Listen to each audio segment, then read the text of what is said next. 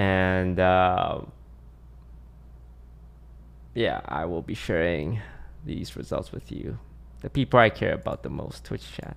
All right, let's uh, start with Ancestry. I'm gonna hide the screen initially just to make sure they don't have my address on here. They shouldn't because I never inputted my address anywhere. But just in case, I'm gonna click. I'm gonna click this button. Start with Ancestry. Are you excited or nervous? Uh, I'm nervous that it's just gonna be all Asian. But Si Chai, that's my Chinese name. Move on. Don't make fun of me.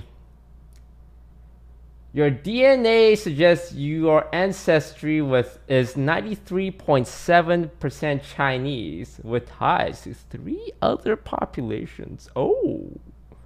Wait, so now if people ask me if I'm Chinese or Taiwanese, do I just say Chinese now? But that means I have 6.3% of foreign blood in me. 6.3%. That's what I'm curious about, the 6.3%. 6.3% with ties to three other population. I'm not a pure blood Chinese. Alright, Si Chai. You have a 99.8% East Asian and Indigenous American.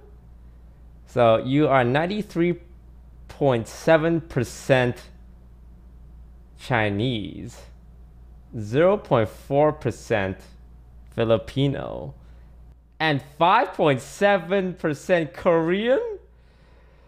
No!